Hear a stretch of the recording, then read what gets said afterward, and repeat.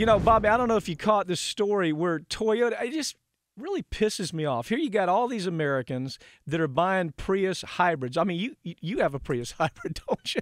I mean, they're buying Prius hybrids. Yes, I do. They're thinking, well, okay, I'm doing this because I'm supporting a company that believes that we need to be stewards of this environment. We need to fight back the freaks who are out there saying that there's really nothing happening, that it's just a normal change, everything's cool. But Toyota refuses to say, they, they refuse to come out and say, look, the Chamber of Commerce is being run by lunatics. Lunatics who say that it's good that we're going to have uh, the Arctic d- uh, disappear because we're going to be able to, our shipping lanes are going to open up. They also say that, look, it ain't such a bad thing because cold weather is bad for our health anyway. So this warm weather is going to be good for us. And at, at the same time, they all admit, all these spokesmen for the Chamber of Commerce, except Donohue, you know, who's, you know, the guy hears voices when he's alone in a room. But this is, but everybody admits that we know we have climate change that's catastrophic. But the Toyota, you know, they won't they won't do what Nike did. They won't Well, do what. uh, Right. I, I think a lot of people are disappointed in Toyota, particularly those of us who are Prius buyers, um, because Toyota now is complicit in the U.S. Um, uh, Chamber of Commerce's efforts to derail climate control legislation in this country. And they're putting millions and millions of dollars into that effort, and Toyota is contributing to that.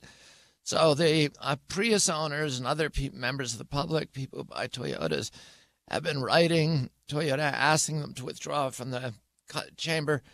Toyota has refused. Um, but we know that there is a rift within the Chamber of Commerce. We've we've talked about it before. The more responsible companies are now dropping out like flies. There's also, interestingly enough, a rift.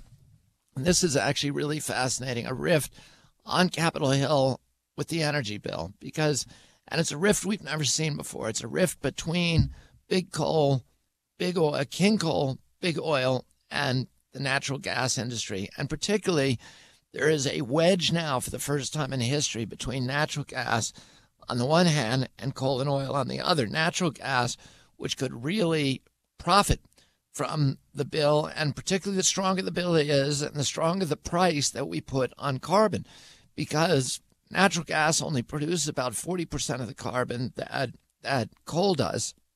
And natural gas, we have this extraordinary opportunity with natural gas because over the past two years, Mike, and the energy markets don't even reflect this at this point, but over the past two years, we found the greatest deposits of energy in history here in the United States. And it's in natural gas, it's in the Haynesville Shale, it's in the Marcellus Shale.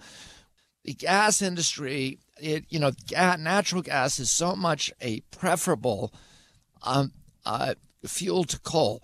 Natural gas produces only 40% of the greenhouse gases.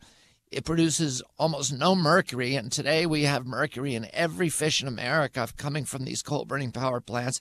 It does produces very, very little in the way of acid rain. It produces no ozone and particulates. Ozone and particulates kill 60,000 Americans every year from coal plants, cause a million asthma attacks, a million lost workdays. And the, the injury to the environment that is caused by gas exploration and drilling is dwarfed by the kind of industry you and I have seen in Appalachia and elsewhere from mountaintop removal mining, where they literally flatten entire landscapes permanently. They've buried 2,000 miles of rivers in coal country in eastern Kentucky and West Virginia. They flatten a million acres, cut down the 500 biggest mountains in the state. So coal is actually criminal. It's a disaster, and gas is much preferable to that.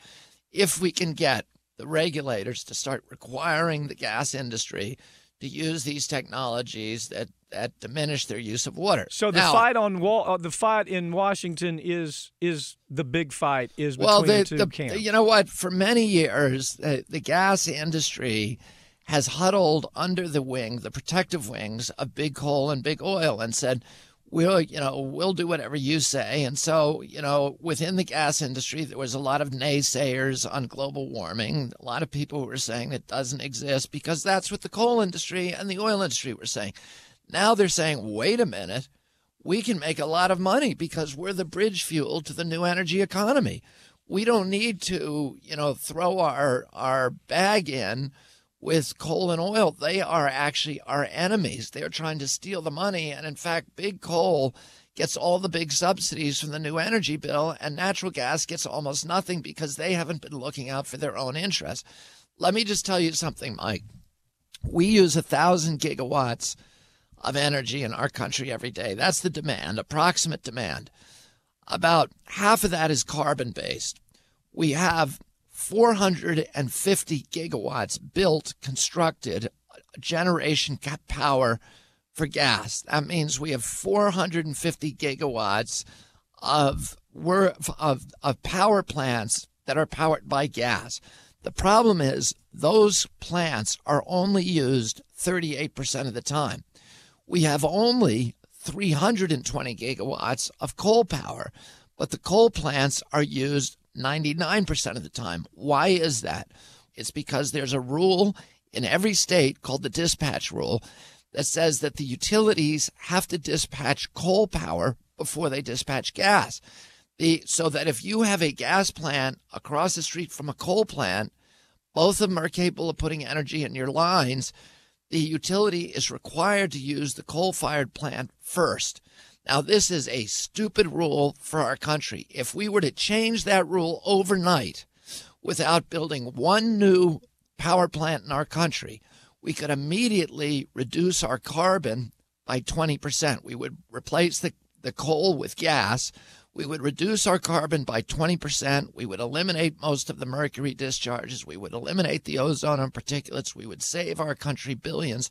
We would we would great get greater reductions in carbon than we could get if we passed the Waxman Markey bill and at a tiny fraction of the cost and in no time, literally overnight in one night, we could do this. All right, and, and, good. Bobby, let's take a break. Uh, we're going to be back. More of the news that you don't hear about.